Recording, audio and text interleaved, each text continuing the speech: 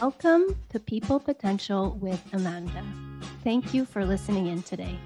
I'm your host, Amanda Flasing, and I'll be bringing on various experts to discuss empowering individuals and organizations to achieve their full potential. Hi, everyone, and welcome to another episode of People Potential with Amanda. Today's guest is Tonille Miller. She's a global transformation and people experience leader, the founder of EXT, and transformation practice leader at Outreach. Tonille also has an impressive amount of corporate experience. She's former global VP, uh, culture, employee experience, and leadership development at StarTek, and former senior manager of transformational change at PwC for many years. So, hey, Tonille, thank you so much for joining me today. Thanks for having me, Amanda. I appreciate it. Let's jump right into things. So, as an experienced people leader or a people experience leader, um, I'd love to know your thoughts on if and how the employee experience has become a priority for employers now. Where do you see that going in the future of corporate work? Yeah, well, first of all, thanks again for having me. Um, the other thing I'd love to kick our conversation off with before I dive into that topic is just to let everyone know that um, any views or opinions that I express on today's show are really not affiliated with any clients I have, and they're really just my own views. So I just want to get that part out of the way. Um, but knowing that, um, to answer your question, I think first it might be important to really define what employee experience is, because I think a lot of folks have different um, understanding understandings of it, different views of it, that type of thing. And so for me, the way that I define it is, you know, it goes beyond culture, technology, physical space, and even beyond the employee life cycle, which is what some people think it really is. And then, you know, it really starts the moment, I believe, anyways, uh, a candidate has first heard of your organization to you know when they think about your brand in the marketplace to when they start looking at you on glassdoor uh, the interviewing, onboarding experience, the way you grow and develop them, uh, how you offboard them. And then also, when you think about once they leave your organization, it's also how you interact with them as an alum. And, and so, in all those moments that matter that we like to talk about, in between all of those things I just said. So, it's all that stuff together. So, it's very holistic, it's very all encompassing. And I think, you know, for the most part, it's, it's like your customer experience in some ways, in the sense that it's every minute people are engaged with your organization and how it makes them them feel. So you want to really think about it as strategically as you do when you design the customer experience, because you're really designing that time that people spend with your organization. Um, one thing I would love to call out, if you don't mind, is just I like to ground everything in data. And so one thing that I think is an important point to pull in here is Josh Bersin, who I'm sure most of you are all familiar with, uh, released a study, uh, I think it was a few months ago, and found that, you know, a great employee experience, and this is why it's so important, right? So it produces three times more innovation and change agility. It produces five times the engagement, uh, I think five times the retention, and then the belonging, the feeling of belonging of people in the organization, as well as twice as high of customer satisfaction and revenue. So when you think about it, like those are really important metrics and numbers that organizations and leaders are chasing. And so if you think about it, wow, if you thought of one silver bullet, I think you, employee experience literally would be would be one of it. So I'm going to pause there and just see if you have any questions or thoughts yeah, on that part. Yeah, absolutely. I love that you brought in some metrics and uh, we'll link to um, Josh Bersin's research mm-hmm. uh, in the show notes. But that's such a great way for HR leaders to position themselves at the executive table by bringing these ROI metrics to the table and explaining here's the effect that all of our work on the employee experience can have. Mm-hmm. And um, because different people react to different things, and many leaders will react more, much more strongly to quantitative uh, data like this versus uh, more qualitative data. And, and we all have the feeling that, yes, of course, the employee experience is great, but with some numbers to back it up, uh, it makes that so much stronger. It makes those proposals for new programs mm-hmm. and funding those programs much more compelling. I think so too. And it's interesting too, because again, we like to ground everything both. I love that you called out the quantitative and the qualitative. And, you know, I think even pre pandemic, I think organizations were already realizing the importance of the employee experience for various reasons. And then, you know, but at the same time, I think the pandemic, as we all know, and we've all talked about this so much, has really just been that forcing function to really pay more attention to that type of thing and that sort of thing. And in the fact that like work serves a different purpose for people today, right? And so, and their expectations are higher, they have choices, like all these other different trends that are happening are also part of why this is so important. Um, and so, the one thing though that I think is that a lot of organizations don't either understand employee experience that well and or they don't do it very well. And that's again, I know it's a very complicated and complex topic in some ways, really it is. Um, but I think a good place to start, just rule of thumb for organizations is just be as deliberate, again, as, I mentioned, about designing and nurturing it as they do the customer experience. And so then when you think about like customer experience, it's like all those great tools that we have in our toolkit, like branding, persona development, journey mapping, um, measuring satisfaction scores, and that sort of thing, so that we're in the heads of our customers, so that we attract nurture and retain them, we'd want to apply those same principles and a lot of those same tools to our employee experience and building that. So I think that might be like a great place for some organizations to start if they haven't. Absolutely. Partner with your marketing team and mm-hmm. work on all of that so that you have an integrated and cohesive brand experience, whether it's from the employee perspective or the customer perspective. These are all these stakeholders are touching your brand and their experience with with you as a brand as a company and what you're putting out in the world. And i love that you pointed out it's not just one the employee experience also includes the pre-employment and then that post-employment. How how do you interact with those alum? And so often people end up coming back or they interact with us in different ways. They can become clients or partners or you know you never know yeah, it's so true. And I love that you brought that up because I think the, the organizations who do this really well, and I've been part of some of them, I've worked with and for some of them, they think about it as an ecosystem, right? So exactly what you said. It's not just, oh, we got to get the talent in the door and then make sure we get the best out of them while we're while they're with us. Well, that's great, but like there's a lot more to it than that. And I love the whole, um, you know, maybe people won't stay forever in your organization, but to your point that you made, they may boomerang back, and that's a great thing. But if you didn't give them a great offboarding and or alumni experience, that's not going to probably happen. So I think it's great to keep that holistic picture in mind. And That's absolutely like the future of work, the gig economy. It's mm-hmm. less, those are less popular topics today than they were maybe three years ago, but they are still very relevant. And that brings me to my second question. So, a lot of leaders are now encouraged to really invest in their employees and their professional development. Uh, so this could be from like increasing salaries as soon as possible when it's rightfully deserved, or paying for trainings and courses and so much more. But then we have some leaders, like what do we say to them when they feel apprehensive to do things like this or to invest too much because they don't want to risk anything or risk over investing in case the employee leaves? So, yeah, I mean, the question is like, what if what if they leave but what but what if they stay or what if the mm-hmm. ecosystem so so what do you uh, what do you say to those kind of to the leaders that are just a bit worried mm-hmm. Yep. And first of all, I want to call out that I think it's it's a valid concern, right? I understand it's it's um, expensive to onboard and develop people and do all these different things. I totally get why leaders are a little apprehensive about it, but I got a couple data points that I would say. I would say, um, first of all, today's talent, especially top talent, if you're not growing and developing them, they will leave. Full stop, no question. Just know that right away.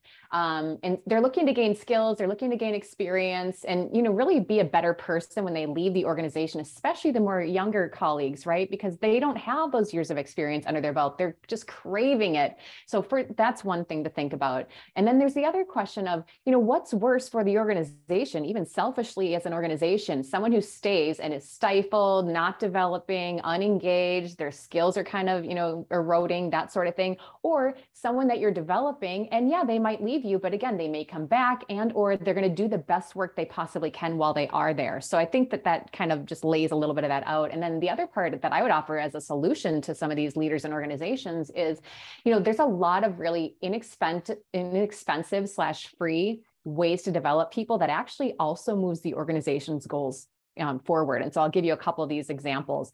So um, first of all, they don't today's workforce, you know, Gen Z millennials, I think we all know that like they don't really learn from that. Send me to three days of, you know, an offsite training that's really expensive. And I sit in a, in a conference room for, you know, all day for the three days and it's, you know, just a lecture and it's boring. No, they don't learn that way. And, and it's just, it's not helping anybody. And that's where the expense usually comes in, things like that.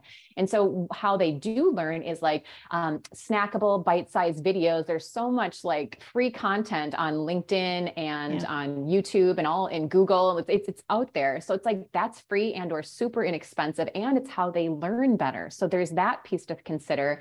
Um, the other part is, you know, I always talk about learning in the flow of work, right? So it's not just, oh, here's another three days at training I got to take off work for or whatever. It's like, let's do some cross mentoring. Let's do like up, down, all around lateral mentoring of each other. That's a great way to learn. And you're pushing the organization's goals forward.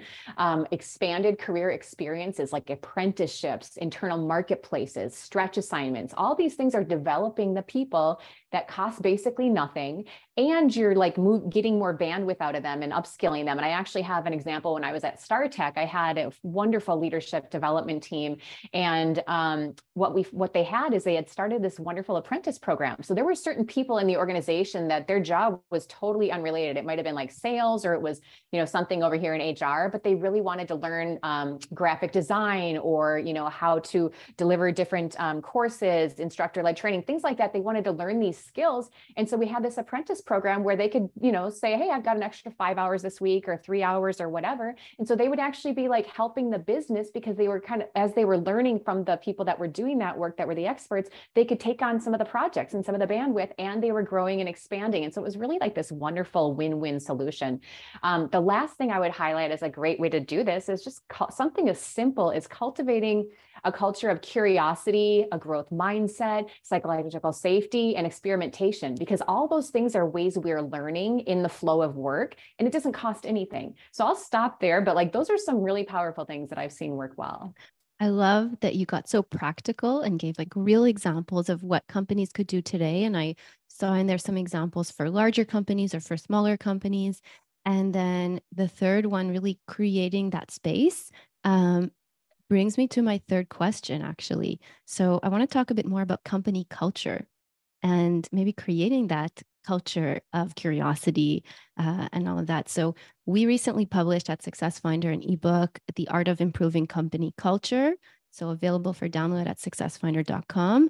And what we're trying to share here is that company culture can, in fact, be bettered and made to paint a more accurate portrait of the organization and then leveraged to create an awesome employee experience. Like it's part of the employer branding, it's part of the experience, and it's part of creating that experience that helps you retain your people and keep them engaged and successful in their roles.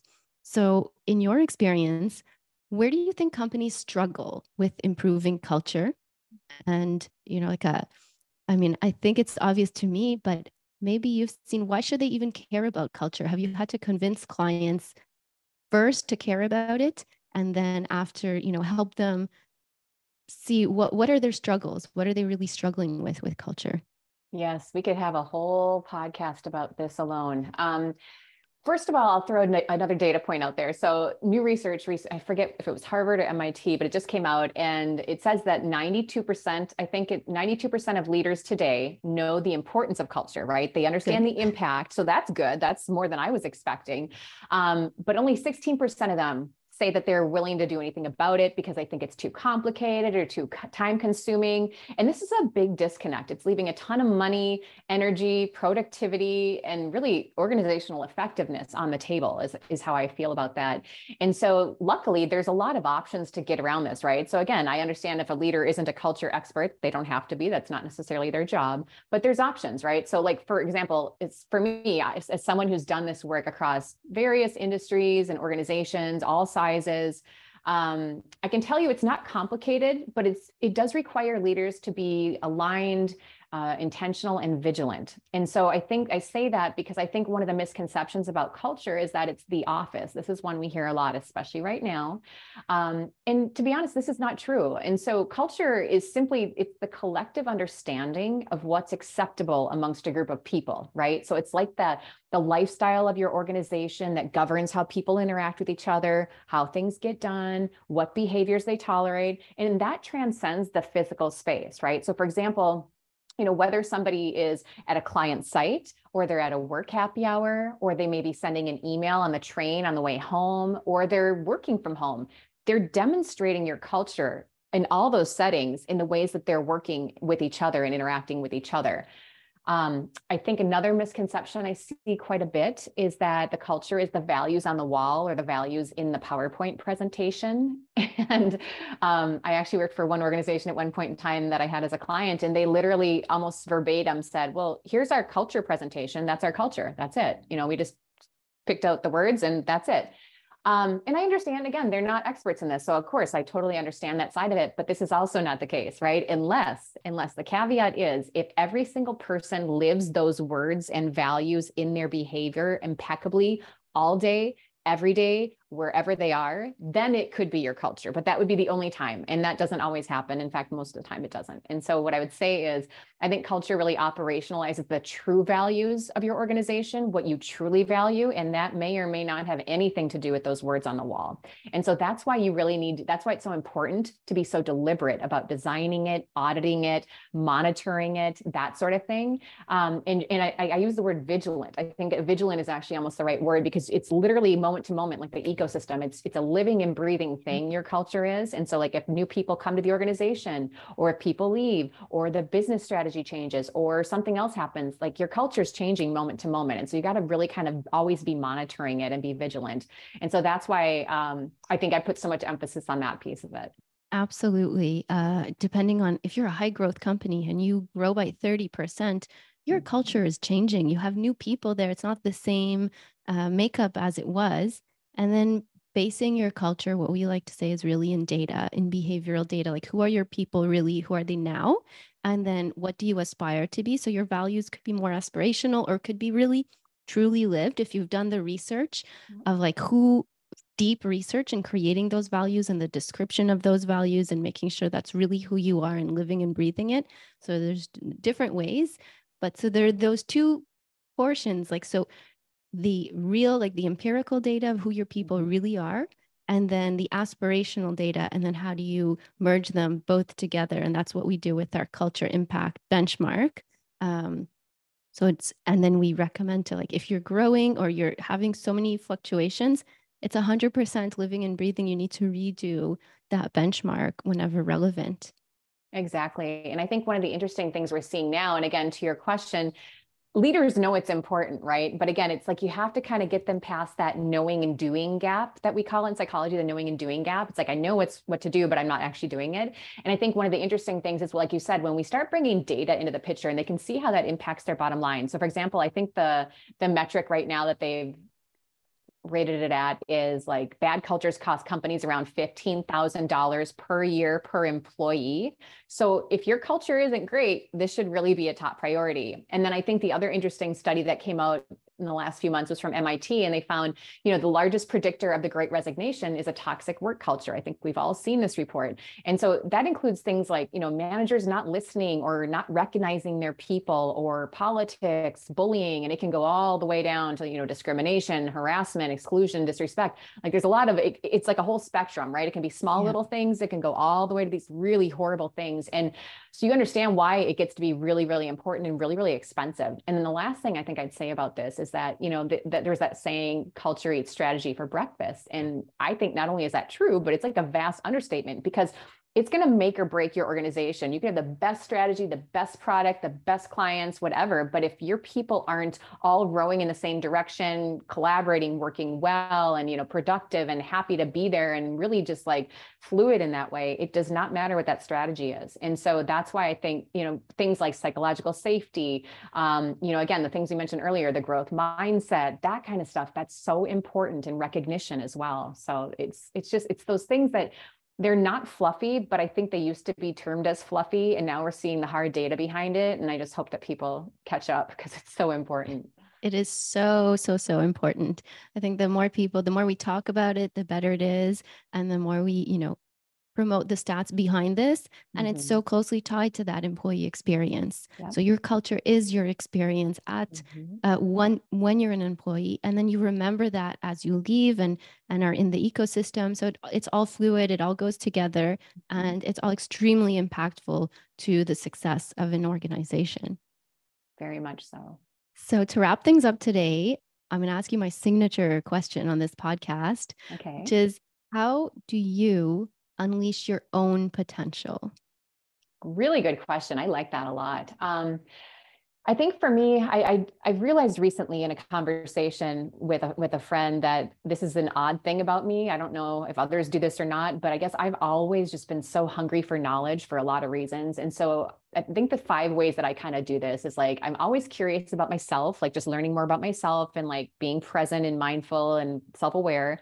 Um, and always curious about other people too and like how they tick and why this is that way and why they're that way and you know that kind of thing so just always kind of doing those those uh, thought experiments if you will and then i have this like always be learning kind of mindset like i'm constantly devouring podcasts and books and articles and just talking to new and interesting people and just really trying on different ways of like mental and like cognitive flexibility and taking different perspectives and that sort of thing so i kind of like try those like i said those kind of mental experiments all the time um, and then just in general in life too, I just always have that, you know, curious experimental mindset, right? So whether it's work, whether it's personal life, whatever it is, I'm always like, hmm, how could we try this here? Right. So then it's like nothing is a failure, nothing is anything negative like that. It's always learning and always codifying the lessons learned from the experiences as you go. And then, you know, iterating and maybe making different choices going forward based on what you're learning and that type of thing. And so that's kind of the the personal approach I take to myself, but it's also an approach that I take in my work. It's very much that iterative, kind of agile mindset.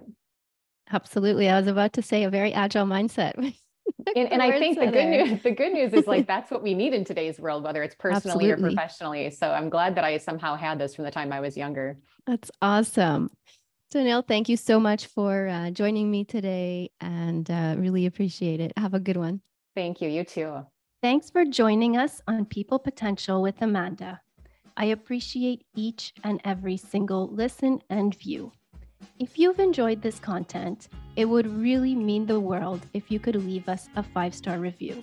This will make a huge impact in increasing the visibility of this podcast, on top of brightening the day of a few people here at Success Finder who work really hard behind the scenes to make this all happen.